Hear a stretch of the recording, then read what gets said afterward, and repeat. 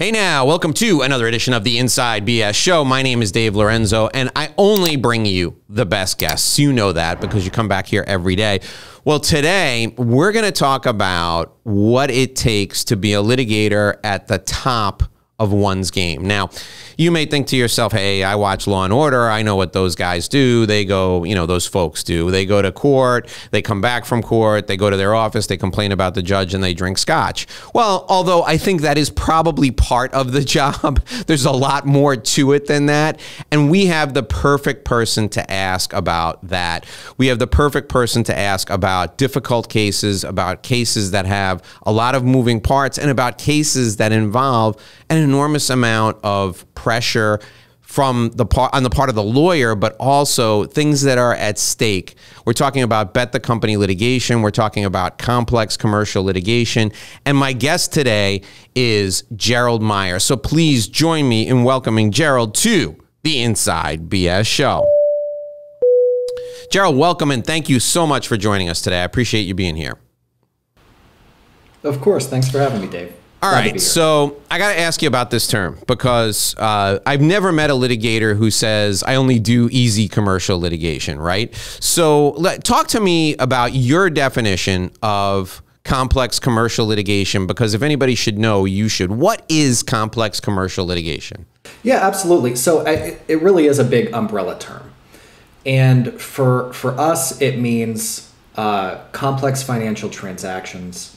It can mean um, intellectual property litigation. Uh, it can mean um, white collar criminal defense litigation, uh, especially uh, litigation, you know, surrounding, uh, you know, financial transactions, financial fraud, uh, things of that nature.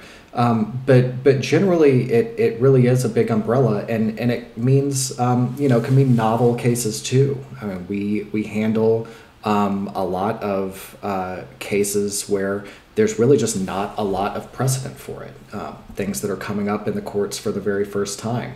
Um, so it, it is a big umbrella term, and I think that can make it a little bit uh, you know confusing, as you pointed out. But really, it, what it means is um, litigation uh, where the stakes are high, um, where the law may be unclear, um, and where the nature of the transaction or the nature of the dispute is something that requires um, you know a certain amount of expertise um, and a certain amount of digging to really get to the bottom of what happened. I think that's a great explanation. So you're you're you're heading into uncharted territory from a from a law standpoint, right? There's probably not a lot of in in some cases there's probably not a lot of case law that you can rely on. So you might be making new case law and or bet the company, right? So people are people are putting their their livelihood at risk and or the the person's personal freedom, like in white collar uh, matters, may be at risk, or their ability to practice, or their ability to operate, or their ability to make money the way they were making money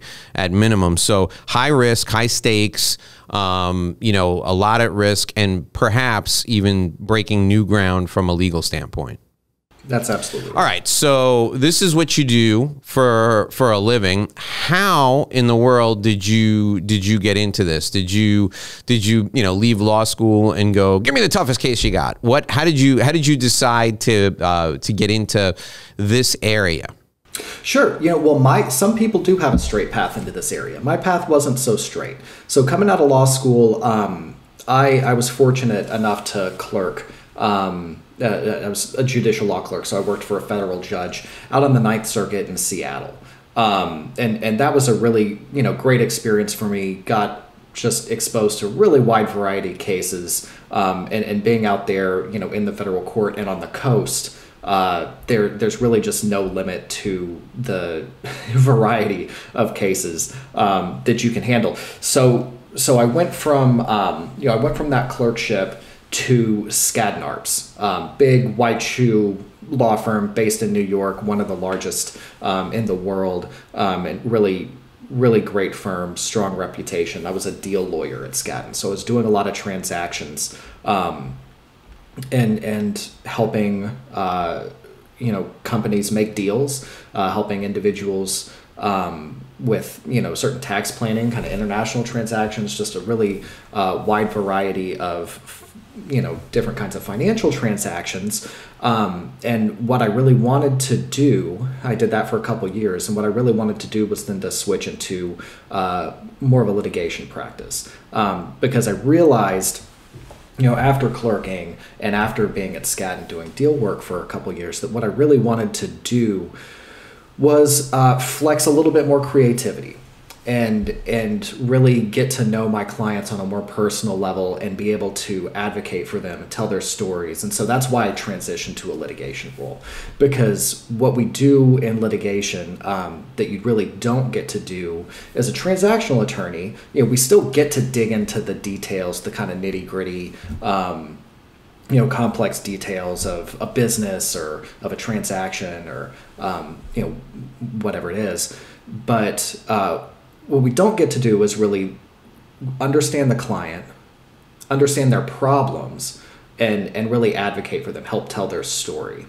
Um, when you're a deal lawyer, you get to know your client, you, know, you get to understand their business, um, but you're helping them, you know, move the ball forward. You're helping them do something that they've already decided they want to do.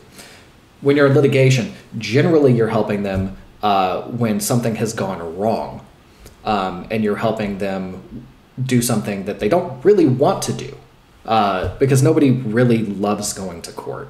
Uh, nobody really loves litigating. It's not.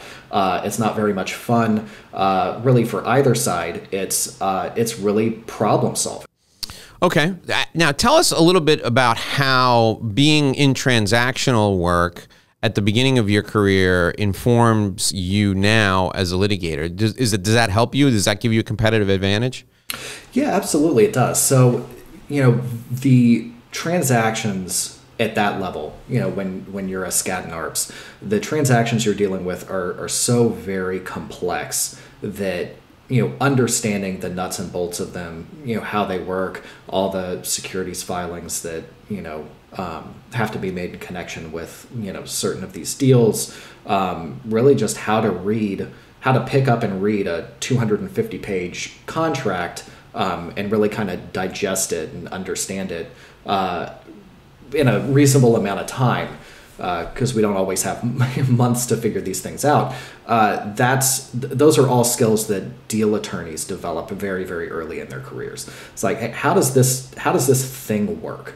Um, th- this impenetrable document that uh, is very very dense, very very confusing, written in a way that no, you know, no English speaker is going to look at this and, and really understand what it means. Um, but uh, but those are the skills you develop early on. So having those skills, bringing those skills to the table, um, you know, as a litigator, uh, you know, I think is a huge advantage because uh, because you do have the ability to then just kind of pick up a document. You know, there's a transaction that went bad.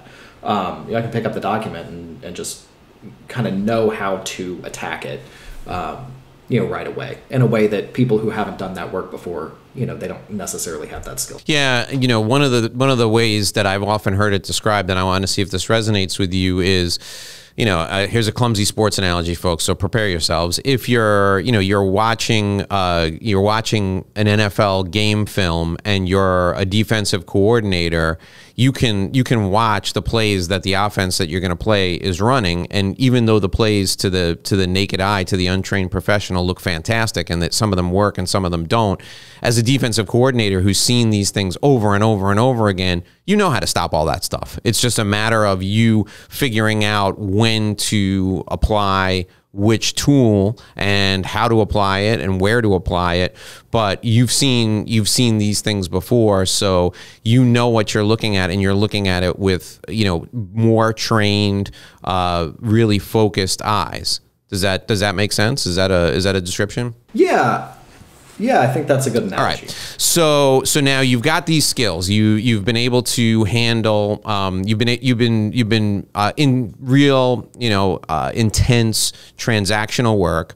You've also uh, now let's say you're you're a couple of years into uh, into litigation and you're working on litigation. Where does the where does the white collar uh, criminal defense come in?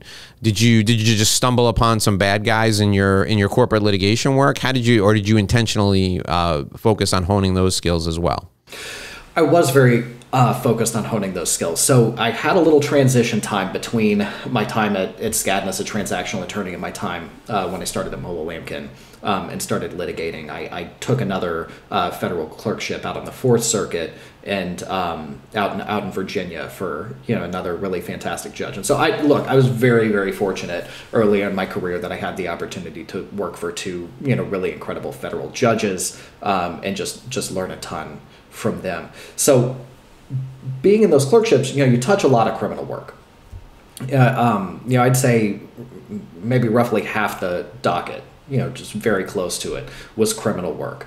Um, and so seeing those cases and kind of understanding those cases, uh, you know, they're, they're very, very interesting. Um, and, and they can be very, very complex. And it really doesn't get more high stakes than, you know, a criminal case where somebody's uh, liberty is on the line. Um, you know, it's it's one thing when you're litigating over money, and it's another thing when you're litigating over you know somebody's freedom.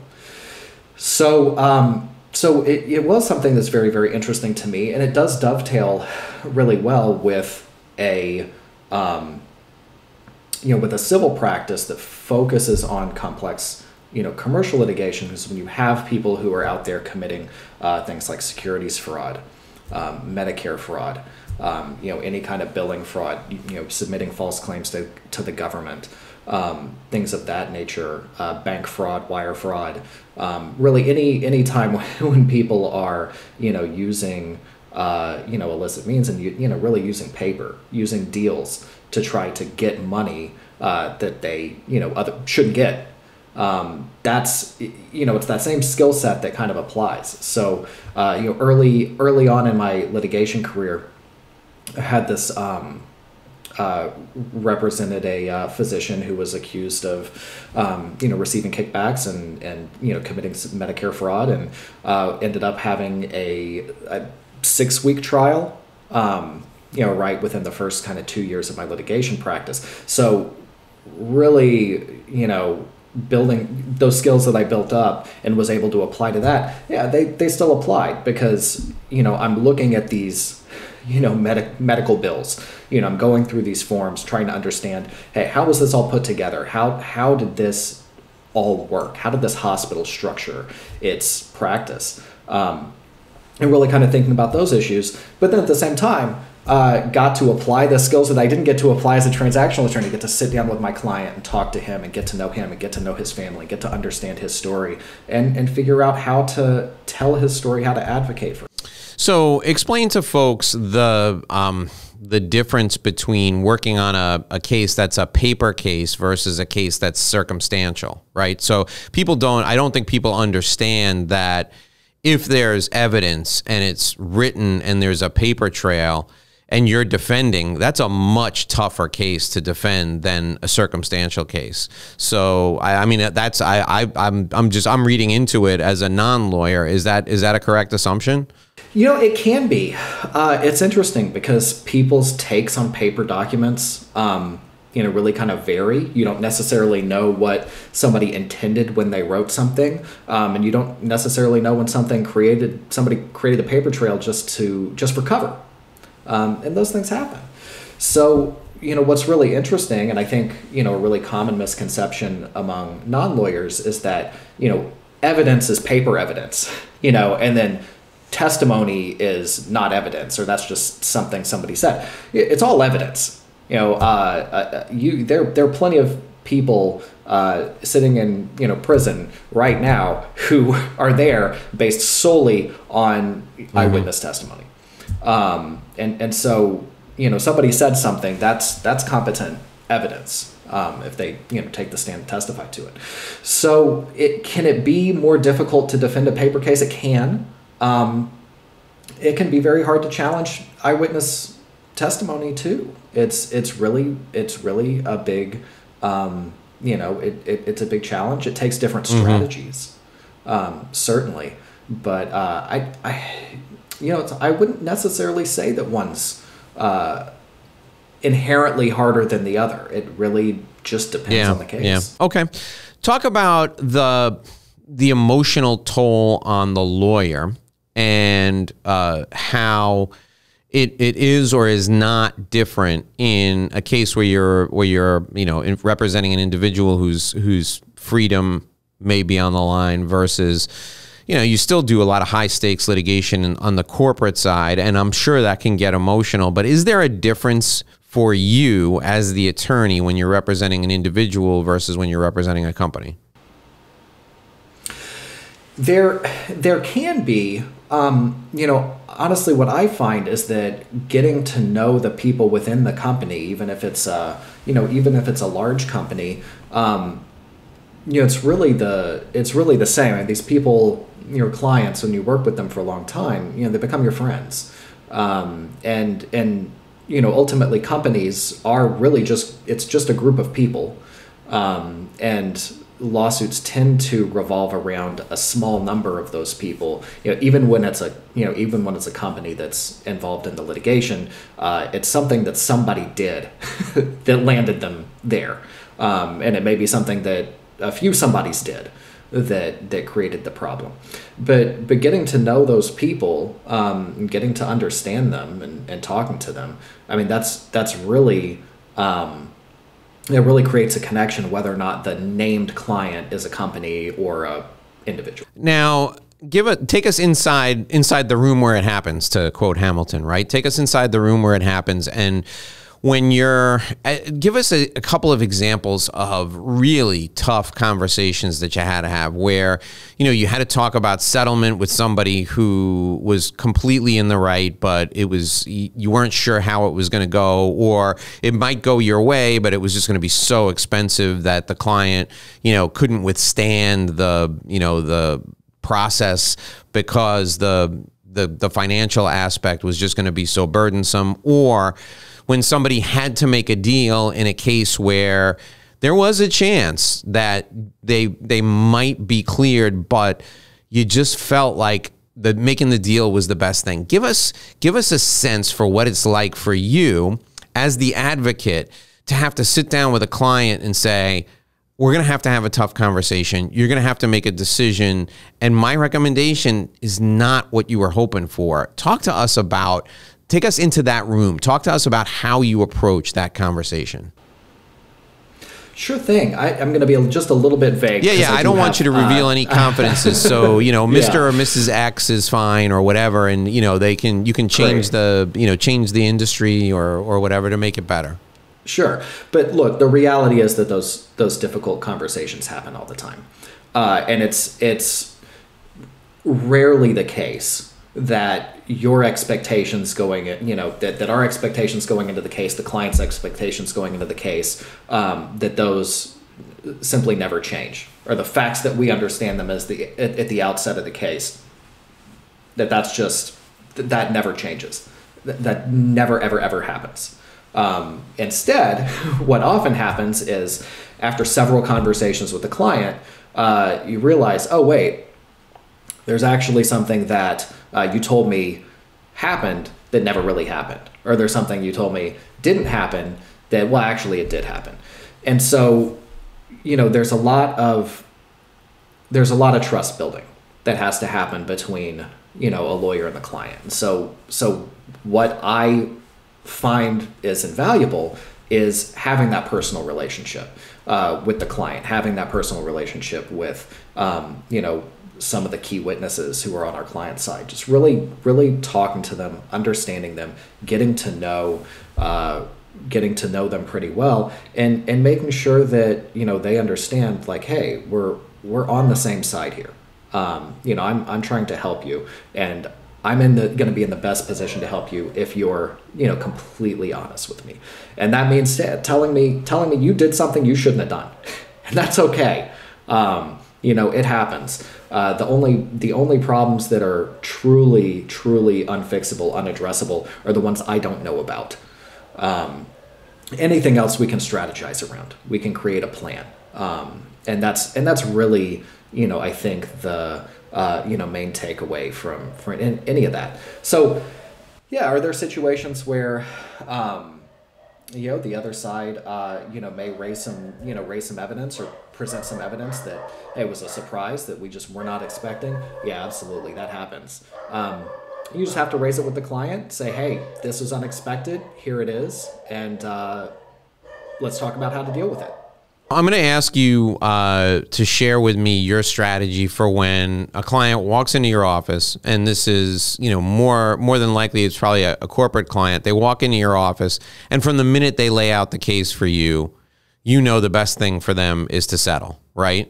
Um, how do you do you is that the kind of thing where you want to bring it up early in the case because you know maybe the client let's say the client is I'm not going to call them naive, but they don't understand the depth of the you know the material that the other side has, or they don't understand the depth of the hole they've dug themselves into, and they could be completely straight with you from the beginning but you know from your experience they they're in your office they're, they're going to work with you but they're telling you this they're giving you this fact pattern and you know the law and you're like man this is this is not a winner.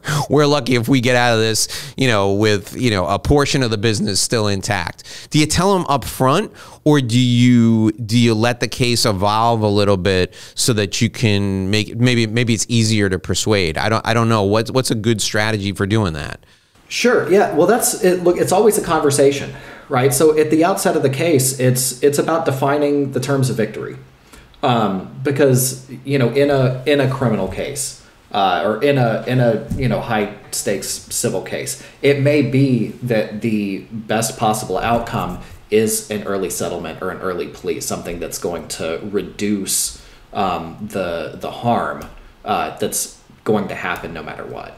Um, you know, and you can look at that and find out, hey, look, we're in for some pain. Let's talk about how to mitigate that. But it's always it's an ongoing conversation. And and at the outset of any case, it's hey, what what does a victory look like in these circumstances? You know, we are in this. What is a what is a win? Sometimes a win is a full victory in court. okay, sometimes that's just not going to happen. Um, and so sometimes a victory means something else and and the client may have different priorities. I mean, sometimes the sometimes cases aren't about money. Sometimes it's about uh, you know telling the story, advocating, just getting getting the facts out there. Um, so it really depends. And and yeah, I mean, and and and like you said, I mean, the the case cases develop, and so the facts tend to change um, as you get discovery from the other side, as you kind of learn what's going on. And so when new facts come out that significantly alter the landscape, mm, that's that's why it's an ongoing conversation. It's like, well, this is something new, and this alters, you know, I think our judgment on um, the case. But uh, but it's always best to have those, you know, have those. Um, conversations is an open dialogue. It's like, how does this, this is new information we need to discuss. How does this change our view of the case? What do you think? Here's what I think. Let's come to a, an agreement on what the best path forward is. Okay, so I'm going to ask you a question. I want you to take a minute and think about it. Um, what I want you to share with folks is the kind of the difference in practicing in federal court uh, as opposed to you know state court or you know a local court or municipal court. I want you to uh, give folks some insight into some of the differences in practicing in federal court, and we'll get into that in just one minute. I need to remind folks who are joining us today that this show and every show is brought to you by Cendrowski Corporate Advisors. For over 35 years, Cendrowski Corporate Advisors has provided expert client service to people all over the United States. Now, Cendrowski is not just your average run of the mill accounting firm. In fact, you'd be hard pressed to find an accounting firm that has deeper expertise in private equity and family office organization and uh, the finances than Cendrowski. See, they've written books on both of these subjects, and they're textbooks. They're books that are used to teach people about the financial ins and outs of both private equity and family offices. Now, why am I talking about this today? Well, if you are an individual who is well off, you're let's say you're a high net worth individual and you have significant assets and you want to invest those assets in a way that makes sure that you have complete oversight of your financial situation and you potentially would like to get the inside track legally, the legal inside track on some really good investments, a family office may be for you. Now, a family office is simply a company that's formed to manage your assets, to manage your wealth there are individual family offices for ultra high net worth individuals and then there are multi-family offices. So if you're a high net worth individual and you know we can define that but i'll let you define it for yourself. So if you're listening to this and you think hey what dave's saying resonates with me there's a pretty good chance you're a high net worth individual you can connect with other families who are in, in a similar situation and you can form a multi-family office or maybe your family can join a multi-family office and have your assets managed by professionals. Now where Cendrowski comes in is they can prepare your personal and your company finances if you're an entrepreneur so that when you enter this multi-family office situation you know exactly where everything is you know what your contribution to the family office is and if you want to do your due diligence on the multifamily office before you enter it, have Cendrowski review those financial documents for you. Cendrowski has done this for years. They've written a book on this. It is one of the things they do that makes them different, that makes them unique. They also do business valuations. They will do dispute advisory. They'll do litigation support, forensic accounting, risk management. They do all those sorts of things as well. But the important thing to remember is that Cendrowski Corporate Advisors is a CPA firm with a different perspective. In other words, they work with people for whom their money is almost always in motion. They work with people for whom the stakes are extremely high. So I want you to give them a call at 866 717 1607, 866 717 1607. Cendrowski Corporate Advisors, as I said, a CPA firm with a different perspective. We're also brought to you by My Revenue Roadmap Guide. If you want to build your book of business, I've got a free resource for you. My revenue roadmap guide is the same business development guide I use with all my clients. And you can get it for free. It's my way of saying thank you for watching us. Thank you for listening to us. Go to revenueroadmapguide.com. Just put all those words together and a .com at the end. revenueroadmapguide.com. Enter your contact info, download your free guide that you can customize to build your book of business today. We're speaking with Gerald Meyer. He is a uh, co- complex commercial litigation attorney. He's based in Chicago, but he works at a firm that can handle complex commercial litigation matters all over the place, all over the United States. You can reach him at 312 450 6714. 312 450 6714. I'm also going to put his email address and his website in the contacts um, in the uh, show notes for you so you can contact him whenever you need to all right so gerald explain the difference between uh, handling a case in federal court versus handling a case in state court or maybe even municipal court, circuit court. Sure thing. So, it, you know, at a high level, uh, there there really aren't major differences, but you know, at a at a you know more granular level, there are big big differences. So, I've tried cases in both state and federal court. Um, done you know had had appeals in both state and federal court. And uh, you know arbitrations are another forum uh, to consider there. And so uh, you know i'm going to throw that in too because um, you know i think that's a, a, an important distinction to make. But but generally federal courts are a little bit more formal. They have a little bit more uniform rules although um, you know there are from district to district or circuit to circuit some local rules that change a little bit. State courts tend to have um, very uh, rules that are modeled after the federal rules, although that's you know really varies from jurisdiction to jurisdiction. Um, state courts tend to be a little bit less formal, but look, that doesn't mean you don't you, you get to go to court without wearing a suit uh, or anything like that. Um, there's just a little bit less formality to the practice, um, just slightly and uh, the the rules are can be a little bit more arcane. They tend to um, be updated a little bit less frequently. They tend to uh, kind of move a little bit. Uh, move a little bit more slowly uh, when it comes to updating things. So so really the and then and then arbitration is even more informal than state court. Um, you know, of course, again, you're still wearing a suit when you appear uh, and everything, so it's not it, it's not like an informal setting. Is there's just a little bit less formality and and even fewer rules uh, in an arbitration forum. Um, you know, generally the rules of evidence don't apply, so there aren't things like hearsay objections. Um, the the arbitrators can kind of let in and take whatever evidence they want. So, um, what I've noticed, and, and I think this was made very clear uh, in, in March 2020, um, that the federal courts were more quick to adapt to remote uh, hearings um, and and kind of keeping the courts moving, at least with respect to civil matters. Um, state courts took a little bit more time to catch up, although they did. Um, and and so you know, when it comes to practicing, uh, you know, when it comes to an attorney's job practicing in state court, federal court, arbitration, really, you want to bring the same kind of high quality um, advocacy, uh, no matter what your forum is. Um, it's not that you know one type of argument is going to play in state court that doesn't play in federal court.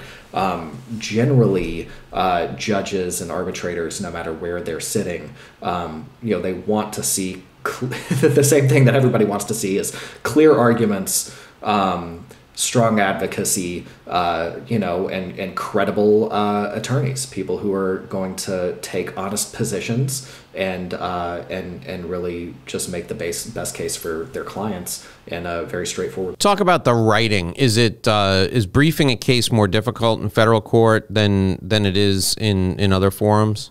Not necessarily. Um, I would say that in the trial level, there, there's more of a distinction between trial level courts and appellate courts than there is between okay. state and federal. Um, so I, I, can talk about that distinction a little bit. The the trial courts, your deadlines, you have smaller page limits. Your deadlines are a lot quicker, um, and you're dealing with an open evidentiary record. So um, you're you're dealing with a lot more information. Uh, you have to crunch it in a lot less time. You're dealing with a judge who's a lot busier, um, and so you have less of your judge's attention, and you really want to get to the main point, hammer your strong points. Um, address the major weaknesses and and kind of get out in as concise uh, a brief as you can do. Now, it should still be very high quality. It should still be polished, well researched, clear. Um, you know those those things you should never ever compromise on. When you're in the appellate court, uh, it's it's very very different because you have a closed record. Um, so you're only dealing with uh, a certain kind of amount of information. You have more time um, and you have more uh, pages so you have more space to to really express your thoughts express you know really uh, kind of draw out your explanations of the law. And so you have a lot more um, ability to talk about uh, the whys. And you know why why is this rule even exist? You know what's the point um, and what's going to happen in future cases if we uh, go one way as opposed to the other. So you can you can really expand on um, some of the legal principles uh, more so than you can in the trial court, and it's more expected. Now you've uh, you've briefed a few cases for the U.S. Supreme Court. Explain explain how that may even differ from uh, the appellate briefs that you've written. Sure. So uh, yeah, same same principle applies. Kind of going up the chain. It's it's even more formal. Um, the quality standards are the highest that they could possibly be.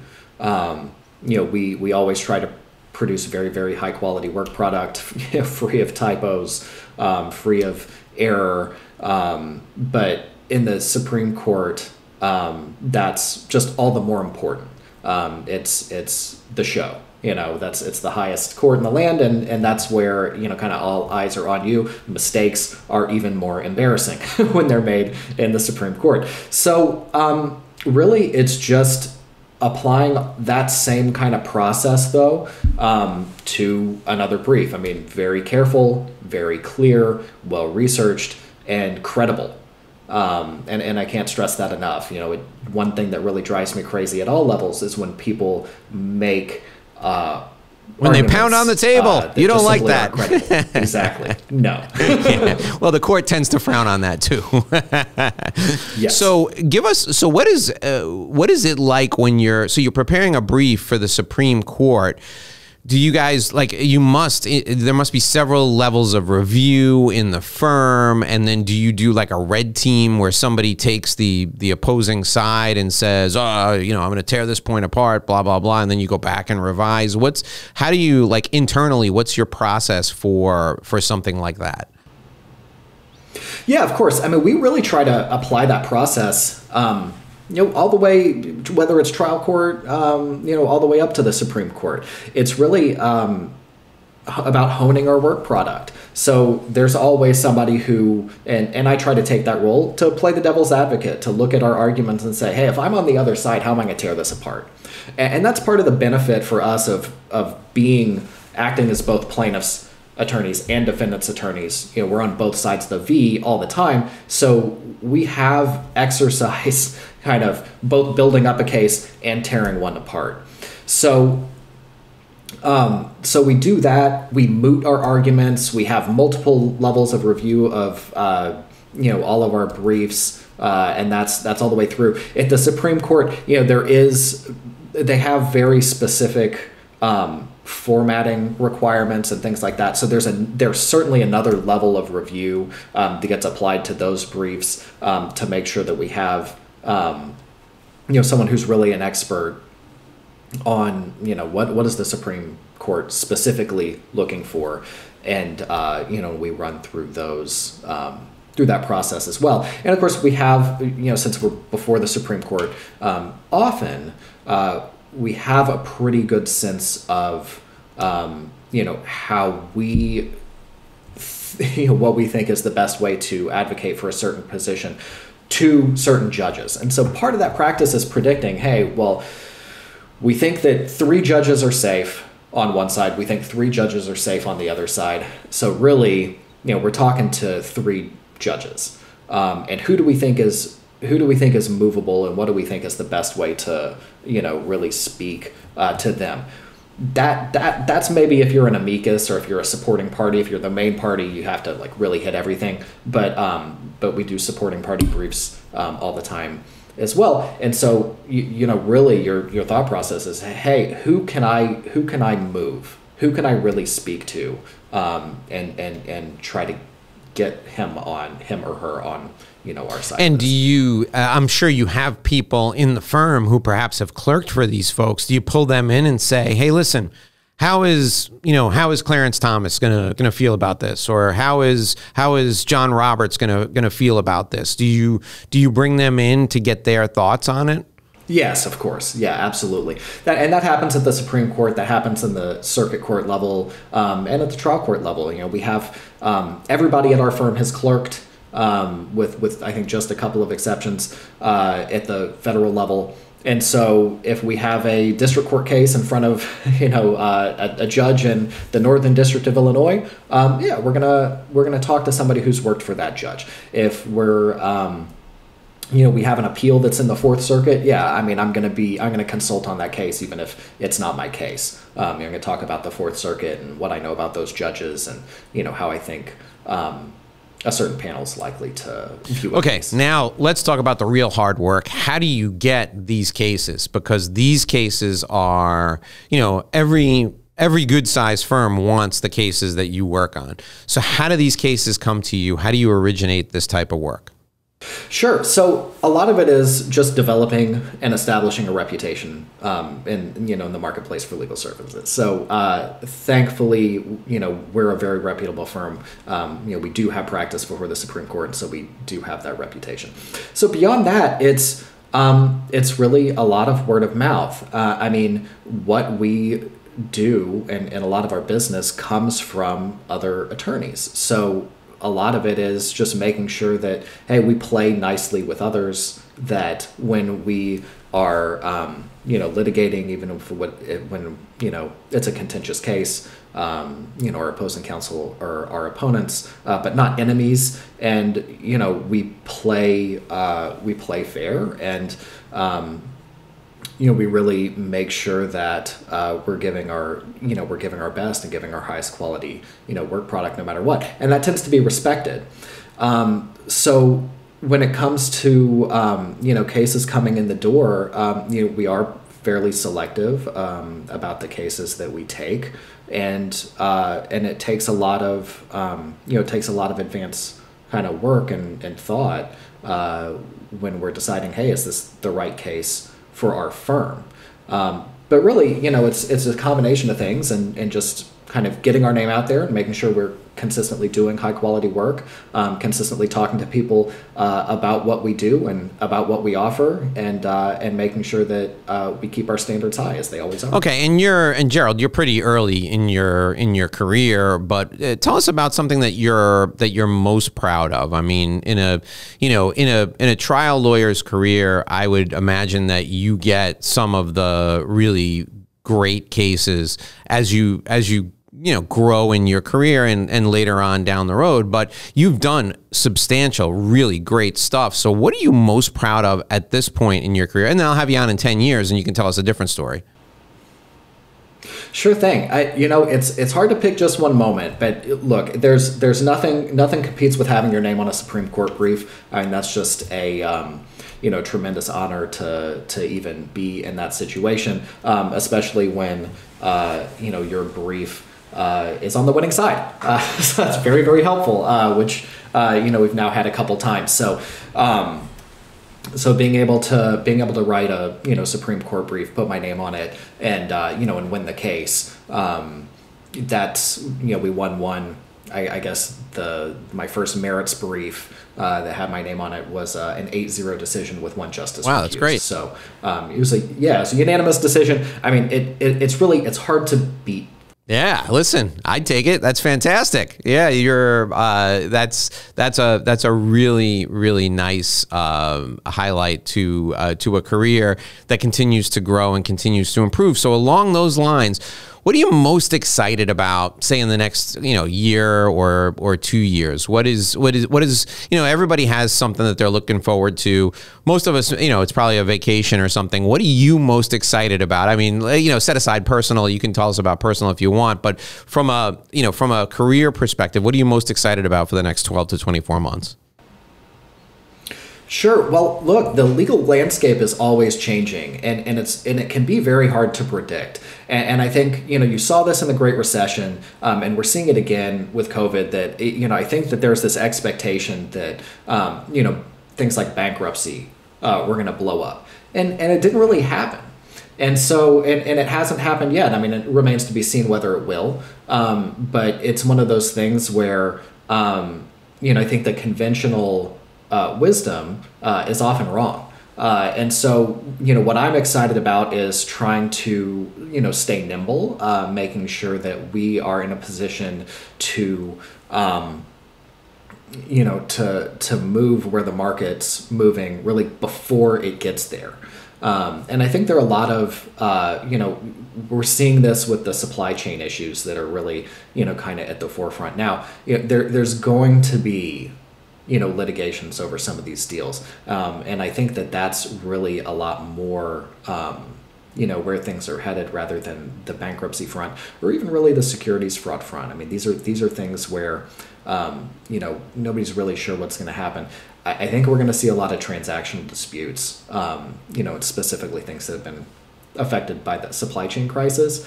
Um, and and I do a fair amount of securities work too, and and something that's been very very interesting um, is seeing the SPAC mm. explosion, you know, over the last couple years, and and some, um, you know, there's there's so much enthusiasm for them in the marketplace um, that uh, it's really kind of unclear, you know, how how much um, you know the money going into these things is really meritorious. And you know look when there's when there's kind of a new product coming out on the market um, and, and, a new way of doing things and people are excited about it um, look there's fraud yeah. in every industry um, and kind of new products coming out there. I mean that's that's attracts fraudsters. So you know there's certain to be um, a lot of litigation, you know, both criminal and civil, um, you know, surrounding um, those things. So I'm keeping an eye on I, I that. think you're I think you're spot on there. I would I would put a microscope on the SPAC market because that is that screams to me credit default swap. That is like credit default swap territory. And I don't mean, you know, I mean, you know, brand new it's not brand new, but a, a product that is being used uh, for a purpose that it most likely was never intended to be used for. And the cl- the most clever people, the people who are out in front of that, are always the fraudsters. The fraudsters always get there first, and then the law catches up with them down the road. So, and when the law catches up with them, Gerald Meyer, you'll be there. exactly. Yeah. I love that. All right, so I'm gonna I'm gonna ask you to think about three things that you want folks to take away from our time together. I'll give you a minute to do that because I want to remind folks that we are brought to you by Cendrowski Corporate Advisors. If you think something's going on and it's a little fishy, you need to call Cendrowski Corporate Advisors. Let me give you an example. So you and your partner have been working together for years and years and years. Your partner handles the books and the business, and you decide you're going to split up and now you have to figure out what the business is worth. Well, your partner says it's worth X, but you think it's worth X plus a hundred. What do you do? Well, you're going to get a lawyer and it's going to get contentious. But I think what you should do is you should say, hey, listen, these guys, Cendrowski Corporate Advisors, they've been valuing businesses for years. I think we should bring them in, let them just open the books up, let them look at the books, and let them give us a value on the business. Similarly, if you're going to buy a business, let's say you're expanding, things are going great for you, and you want to buy a business, and the person selling the business says it's worth X, and you're like, well, I'm not really sure. I'm happy to pay that if it's what it's worth. Bring in Cendrowski, let them look at the business, let them do a business valuation. They've been doing this for 35 years. You can reach out to Cendrowski Corporate Advisors by calling 866 717 1607, 866 717 1607 Cendrowski Corporate Advisors. They're a CPA firm with a different perspective. We're also brought to you by my Revenue Roadmap Guide. You heard me say it before. You need to build your book of business. I can help you with a business development plan. Download the Revenue Roadmap Guide and customize it for your practice. It's my gift to you to thank you for being here. Go to revenueroadmapguide.com, enter your contact info, download your free business development plan today. All right, Gerald, what should we take away from our time together? You gave us so much to think about. Give us three really important things that we should take away from our time together today. Sure thing. Look, I mean, if, if you're in the market for uh, legal services from a litigator, um, you're you're in that unfortunate position because know, nobody really wants to be there. Um, yeah, I mean, I, I do. I think there are three things that are really important for you, and and the first one is you know be a realist, be a realistic, and define the terms of victory. You know, kind of early on, and be open to changing that. Um, you really need to think hard about what do I want to get out of this litigation, or if I'm being sued, um, you know, what can I do about this? You know, what's what does a win look like to me? Um, and and again, you know, the landscape changes throughout litigation, so be open to revising, um, you know, that definition as things progress. Um, you know, two, you want to work with an attorney who you know understands you, understands your business, understands your problems. You know, really kind of gets to know you, gets to understand you, and wants to build that trust. You know, having a trust between an attorney and a client is really indispensable. Um, th- there's nothing you know you can do about it if you can't build that trust. There's no way to um, you know really replace that. You know, replicate it in any other way.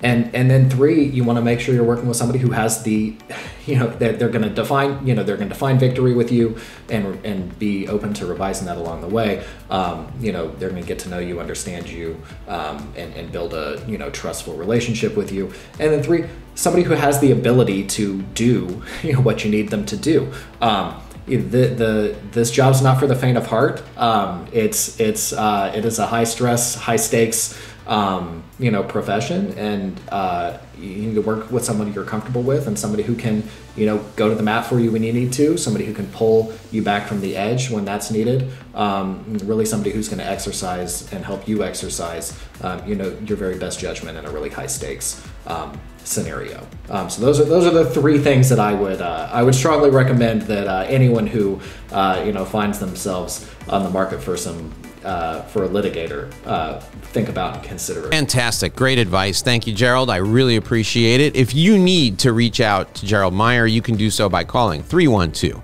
450 6714 312 450 6714. I'm also going to put his email address in the show notes. I'm going to put his bio in there as well. It's a, it's a fantastic bio, so enjoy reading it just like I did. Gerald, thank you so much for being here. It was wonderful having you. You really uh, helped us understand the judicial process from the inside. So thank you for giving us the inside BS on the judicial process. Thanks, Dave. Really appreciate it. Alrighty, folks, that'll do it for this episode of the Inside BS Show. We're back here every day with another show for you. We'll have another great interview for you tomorrow. My guest today was Gerald Meyer. If you want to reach out to him, you can call him at 312 450 6714. 312 450 6714. Thanks to Gerald Meyer. Thanks to Cendrowski Corporate Advisors. And thanks to you for listening and for watching. We'll be back here again tomorrow. Until then, here's hoping you make a great living and live a great life.